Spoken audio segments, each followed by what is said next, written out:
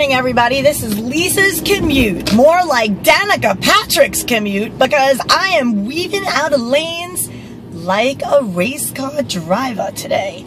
I don't know if the weather has something to do with it. As you see, I am in winter garb, wearing a hat. I got the turtle. My nose is running. This is a hot mess disaster. We got 54 degrees right now at uh, 8.53 a.m.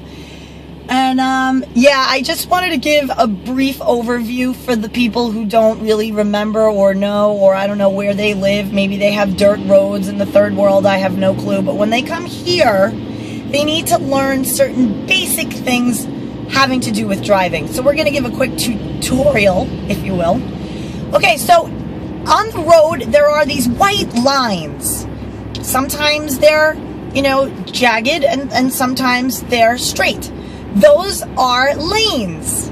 Lanes. Say it with me. And the lanes. Good, nice. Okay, and the object is to stay inside your lane. Because here in America, we have more than one. Many times we have more than one.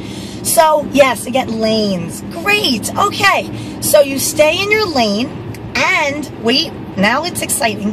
When you're shifting out of your lane, you have to look and see if there's another car next to you. And then, if the coast is clear, you put your blinker on, and even before that, so that other people know you want to get out of the lane and into a new lane. Lanes. Okay, cool, let's move on. You got lanes, great.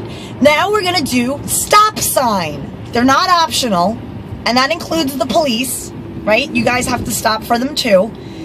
It's a red thing, right? You see a sign, it's red, and there's like white letters on it. Um, that means stop, right? Stop, stop. So you put the foot on the brake and you come to a stop and then you kind of look around and see if the coast is clear. You don't just stop and then presume everything's okay and go. You stop. So, lanes and stop. That's your driving course for today.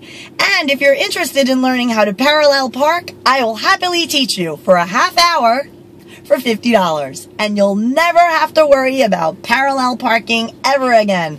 Learn from a New Yorker. I learned how to parallel park my tricycle when I was only two. I can help you. Just look me up. Thanks, and be safe on the road.